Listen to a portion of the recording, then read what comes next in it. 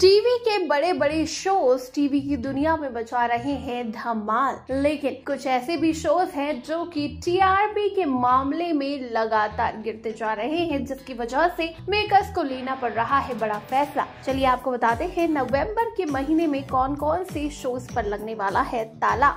List में पहला नाम है, रब से है दुआ का। आपको बता दें, शो को काफ़ी ज़्यादा पसंद किया गया था, लेकिन हाल ही में सेकेंड जनरेशन को इंट्रोड्यूस कराया गया, जिसके बाद फैंस को ये शो अब बिल्कुल भी पसंद नहीं आ रहा। जिसके बाद मिड नवंबर में इसे बंद करने का फैसला ले लिया गया है। वहीं सोनी टीवी का पॉपुलर शो कौन बनेगा? करोड़पति भी नवंबर में ऑफ़र होने वाला है। आपको बता दें शो की ऑफलाइन टीआरपी काफ़ी ज़्यादा खराब है, जिसकी वजह से मेकर्स शो पर ताला लगा रहे हैं। वहीं अंकित गुप्ता का शो माटी से बंदी डोर भी नवंबर में ऑफ़र होने वाला है।